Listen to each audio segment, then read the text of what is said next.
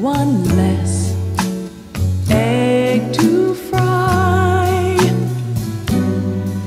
one less man to pick up.